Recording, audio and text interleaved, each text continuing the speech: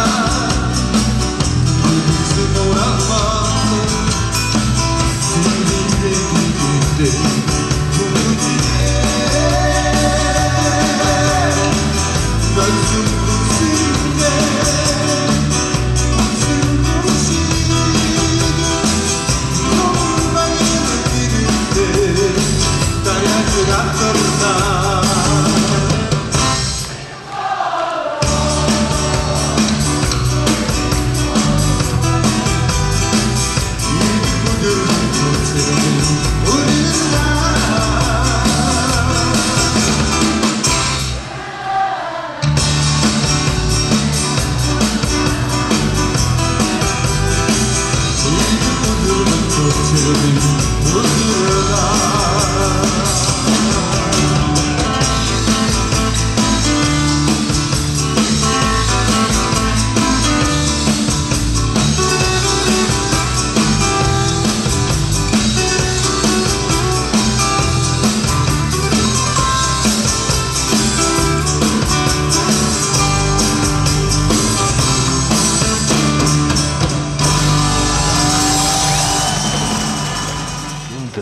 соёл эрдэнэ намтлагийн бөмбөрчин Зомахын бөмбөр тоглосны 30 жилийн өмнө тоглолт болж байна. А тэгээд би соёл эрдэнэ намтлагт 93 онд нэг жил тоглож исэн. А түүнээс хойш бас Шар айраг намтлагт 96 оноос өдөө хүртэл Зомахтайгаа зөв тоглож байгаа. Тэгэхээр Монголын эстрадын тайзан дээр бөмбөр гэдэг энэ хүнд ачиг бүтэн 30 жил үрч яваа. Энэ хүнтэй бас ингээд уран бүтээлийн андууд манай сайн найз ах гэдэг тийм харьцаагаар байдагтаа би бас маш баяртай байдаг. А тэгээд цомахта эрүүлэн сайн сайхан бүхнийг үсэе. Улам олон жил бид нарт хамт тайзан дээр байгаарай гэж өрөөё.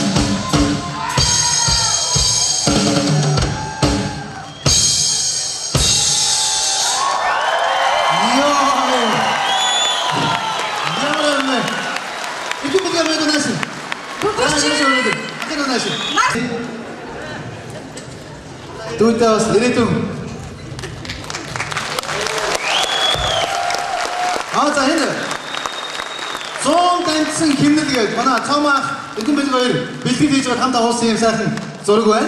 Ингээд дүүтэй бэлгэж байгаа юм байна. За ингээд За өнөөдөр манай солид тэргүүн ажилтны соёл эрдний гоцол бөмбөрчин цоломгийн маань тайлан 30 жилийн дараа болж байгаагаараа маш их онцлог юм. Өнөөдөр энэ онцлог нь яагаад вэ гэхээр өнөөдөр Монголд байгаагүй 17 шилдэг бөмбөрчин ирж энэ тайзанд тоглох гэж байна. А тэрнээс гадна хүүхэд багчууд маань ирж баяр хүргээ тоглож байна. Энийг өөр их онцлог юм аа. Тэгээд яг хоо манай цоломгийн маань төр засаг бас үнэлэх бах бид ч бүхэн ч гэсэн бас хэрээрээ дэмжиж бид хүн тоглож байна. Тэгээд бид хүн маш их баяртай байна.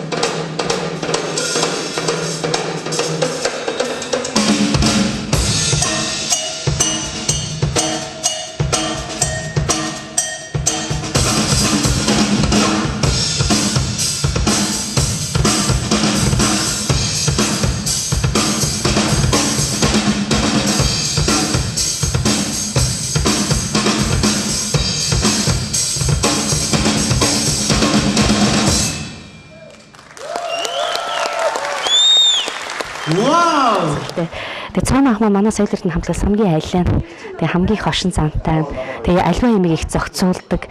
Тэгээл одоо нэг тийм өөрөө нэг тийм нэг тийм зарчимч юмд их хариуцлагатай хүний хувьд бол ийм хүн тэгээд дандаа ингээл миний дэ юу байна гэл ингээл их санаа тавьдаг. Ах нь одоо яах вэ, ийх үү гэл ингээл тэр хүний хувьд эмэгтэй хүнд анхаарал тавьдаг маш их одоо сайн. Тэгэл би тэрээ жоохон байсан болоод ч тэр цом ах надад маш их анхаарал тавьдаг. Миний одоо энийг ингээрээ энэ дээр тэгчүүл зүгээр авна энэгээр хахах ботлуудыг ингээ янзлчих гэл надаас банк тэгж хэлдэг байсан. Их олон юмыг зааж зөвлөдөг байсан.